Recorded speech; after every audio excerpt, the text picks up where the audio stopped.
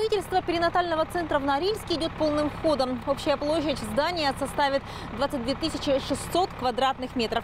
На них расположатся родовое и послеродовое отделение, гистологическая лаборатория, отделение патологии новорожденных и многие другие необходимые помещения. Вести строительство в суровых заполярных условиях непросто. Подрядчики не скрывают, были сложности с бурением вечно мерзлого грунта и скального основания. Но сейчас эта работа выполнена на 95%. Забито почти тысяча свай. Пока есть отставание от графика, но в ближайшее время его обещают ликвидировать. Ну, при положительных температурах, конечно, по максимуму нужно выполнять бетонные работы.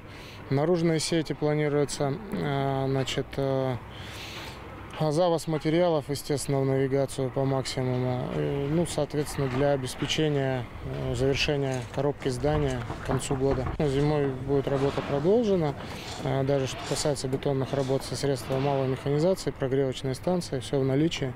Поэтому будут ограждающие конструкции выполнены. Э, Работу останавливать не планируем.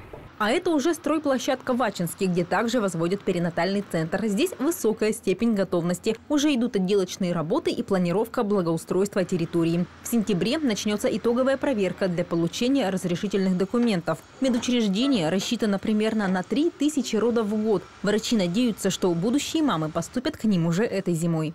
Мы постараемся создать те условия, чтобы э, мамы, когда выписывались из перинатального центра, действительно ну, запомнили это, наверное, на всю жизнь, как именно событие, которое прошло через их всю жизнь. И это, э, этот перинатальный центр дал им рождение мальчиков или девочек. Самое главное – здоровых детей. Перинатальный центр в Красноярске работает около пяти лет. За это время здесь появились на свет более 15 тысяч малышей. Врачи говорят, число родов растет. За шесть месяцев этого года новорожденных на три сотни больше, чем в 2015 -м. Самые частые патологии – преждевременные роды, рубцы после предыдущих операций, миомы и другие. Легких случаев в перинатальном центре нет. Подчас приходится привлекать специалистов из самых разных областей медицины. Нам поступают такие патологии акушерские, как предлежание плаценты. Например, это когда есть рубец или какая-то аномалия эндометрия, когда плацента врастает в миометрии или в рубец. Мы обязательно в случае подозрения приглашаем на операцию урологов, сосудистых хирургов. И тогда наша бригада состоит уже из пяти хирургов.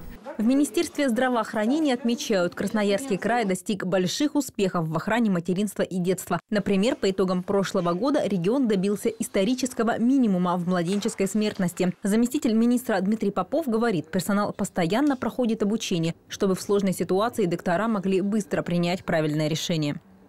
Мы активно привлекали специалистов и российского уровня, и международного уровня. И мы активно обучали со всех районов края и средний персонал, и врачей.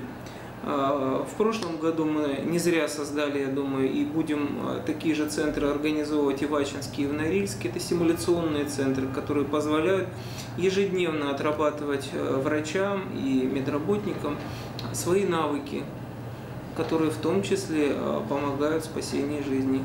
Самый радостный момент в работе службы охраны материнства и детства – выписка. Здоровый малыш и счастливые родители. В этом смысл работы врачей. Анна Московских, Александра Арепьева, Алексей Гусев, Александр Ермошенко. Новости.